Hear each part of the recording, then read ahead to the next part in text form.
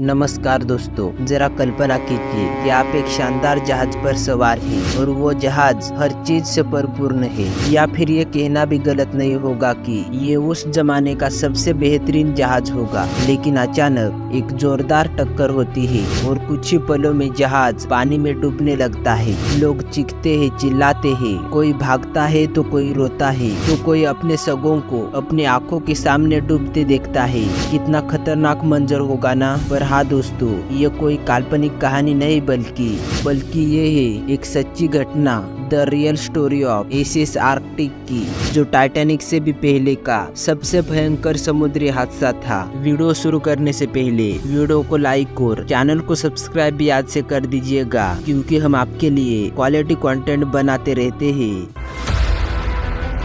S S Arctic अपने जमाने का सबसे विशाल जहाज़, जिसका निर्माण क्वालेंस लाइन नाम के एक कंपनी ने 1850 में किया था। ये जहाज़ न्यूयॉर्क से लिवरपूल के बीच में यात्रियों को और माल को लेके जाने के लिए इस्तेमाल किया जाता था। 27 सितंबर 1854 इस दिन ये जहाज़ न्यूयॉर्क से अपने नियमित यात्रा पर निकलता है। जहाज़ पर कुल 400 लोग सवार थे जिसमें यात्री और क्रूज शिप के सदस्य भी शामिल थे। सफ़र की शुरुआत सामान्य थी। कई लोग अपने कैबिन में विश्राम कर रहे थे। कोई इधर उधर टहल रहा था और समुद्र के नज़ारों का आनंद उठा रहा था। पर जैसे ही जहाज़ न्यू फाउंडलैंड के पास पहुँचा, अचानक मौसम बिगड़ने लगा। समुद्र में धुआँ सा छा गया और अचानक दिखना भी कम होने लगा। मानो ऐसा लग रहा था कि अचानक दोपहर के समय अंधेरा हो गया हो और फिर इसी अंधेरे में एस एस आर्टिक की टक्कर, एक फ्रेंच शिप वेस्टा से हो जाती है और ये टक्कर इतनी जोरदार होती है कि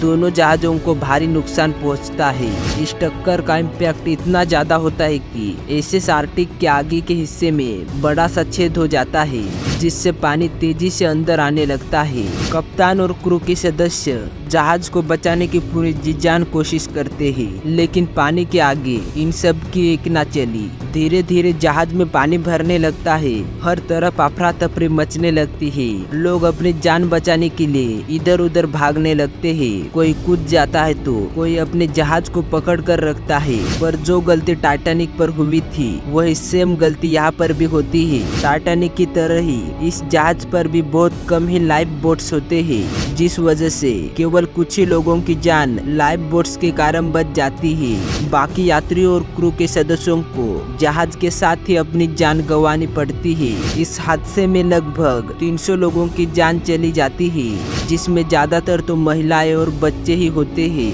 यह हादसा समुद्री इतिहास में सबसे भयानक घटनाओं में से एक माना जाता है, जो आज भी इतिहास के पन्नों में दर्ज है।